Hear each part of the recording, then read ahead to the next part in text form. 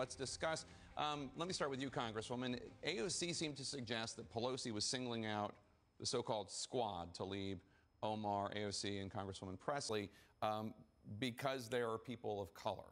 Um, and uh, what did you make of that? Well, I can say that Nancy Pelosi made me the second Latina in the history of Congress to serve on the Committee for Energy and Commerce. So, in my experience as a woman of color and the only Latina elected in the entire country, in 2016, um, she has helped me um, to get on the most powerful and exclusive committee.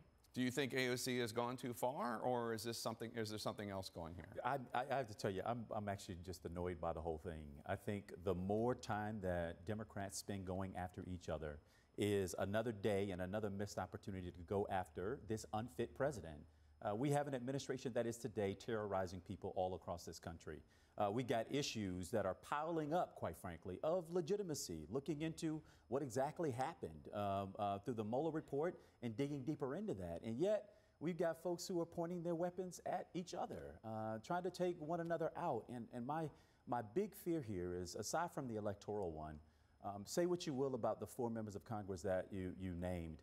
Um, their constituency is not just the people back in their districts. They represent a rising voice within the Democratic Party and also outside the Democratic Party within the country that is frustrated by the status quo. Mm. And I think that silencing them uh, or appearing to silence them will have real consequences. So they ought to get in a room, figure it out, stop going back and forth between each other over television and magazine interviews or in tweets, mm-hmm. and settle this thing uh, the, the, way that they should as leaders, uh, uh, uh not out here in the public. A little Schadenfreude for you, maybe, Scott. Yeah, I, I have to say, I hope this place is lightning proof because I'm going to say it. Thank God for Nancy Pelosi. it took, it took, it took, and I know this is going to be used against me someday in the near future, but it took them saying Nancy Pelosi was a racist yep.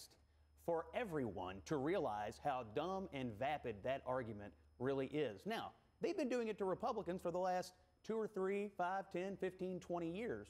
When they finally turned it on Pelosi, Maureen Dowd in the New York Times, and everyone, oh, whoa, this is not a great argument. Just because someone disagrees with you doesn't make them a racist. So, guess what? Thank God for Nancy Pelosi. Now, she's coddled this argument.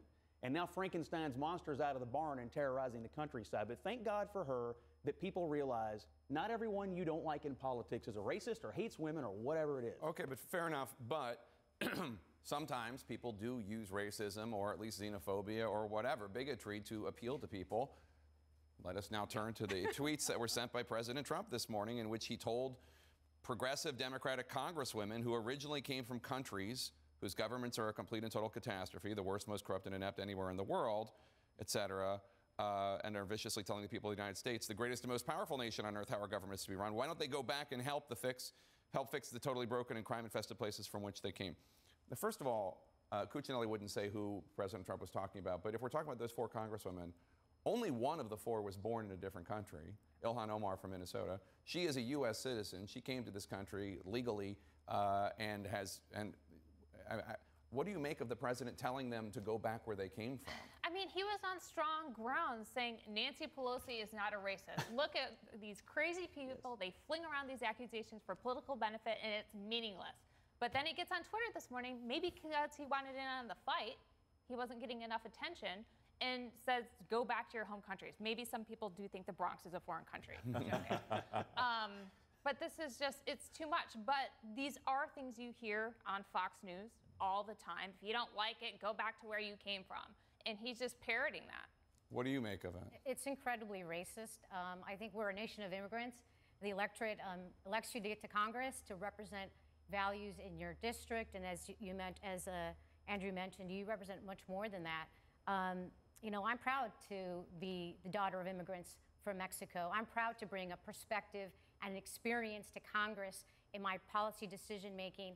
And that's what the diversity of the De Democratic Party does. And I'm proud that we have more women in Congress and more women of color in Congress than ever before. This also is not true for this. I mean, not new for this president. The fact is, is he told us a long time ago what he thought about countries uh, that are dominated by people of color. Uh, he called them S-hole countries, right? Yeah. Um, he has consistently demonized women. He sees a group of women of color and assumes that they are foreign and not from here. And gotta, I got to tell you, I don't think the president doesn't know better. I think he knows better. Uh, I think one, he probably wants to end on the fight, but two, this is a trope to his base to basically say these folks are not like you. I think we can all agree that whether it's Ilhan Omar or Melania Trump, they are American and they right. belong here, and nobody should tell either one of them to go back where they And by the way, if you're a Somali refugee, you also belong here. She came here as a refugee, as a member of Congress. We ought to be celebrating that story. Thanks, one and all.